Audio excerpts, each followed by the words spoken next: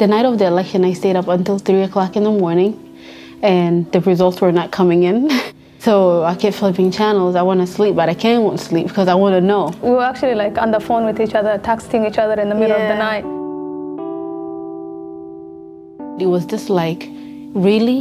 Did he really win? In the morning when I got up and I see that, I was devastated. I don't even know what I'm feeling anymore. Like it's kind of empty feeling where like you're sad. I tell my children not to listen to all this negativity they hear from outside. But every time they came home, my kids had something to ask. My son said, Mom, we hear that if Donald Trump become president, he's going to take back refugees. So does that mean that he's going to take you and dad away from us? You know, and just breaks my heart. My family is originally from Somalia. I was born in Kenya as a refugee, and from Somalia, civil war to Kenya, refugee camp to the US to becoming nationalized this last year. I ended up in Syracuse as a refugee from Ethiopia.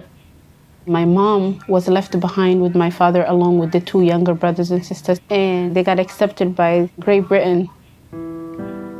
My uncle has been in process for 10 years, since mm. 2006 until now, waiting for one day to be resettled. And all of a sudden, a president says no Muslim refugees are allowed.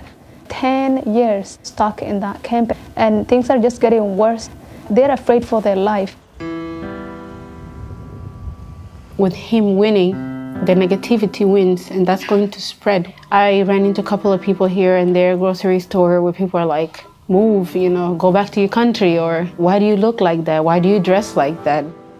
I believe that if I have to take off my headscarf for my safety, that's a sign of weakness. And I'm not weak. I don't think Donald Trump won. I think the hatred, the racism within our country won. Yes. Yes. There is a lot of people who have voice but are, are not being heard, and that's where I come in. My role at RISE, which is Refugee Immigrant Self Empowerment, is to help people find job and do immigration work. I'll go to court with them if it's a school, hospital, everywhere you name it. I work at the mosque, I work with interfaith resettlement agencies. I also uh, volunteer to teach adult beginning English classes. I have over 50 students in one class. And I'm actually part-time student at Syracuse University majoring in international relation. And my dream is- is to work in United Nations one day. This is like the kind of opportunity that we always hoped for. And I know that I wouldn't have been attending SU as a junior year. Two of my sisters are also attending college. Fatima is now on the National Spelling Bee. I got a call from back home. Mm-hmm. Oh, yes. The negative message traveled so far. Most of the time, they don't have TV in the camps, so they would hear from the radio and how the United States is electing a new president, and this president is saying a lot of negativities towards Muslims.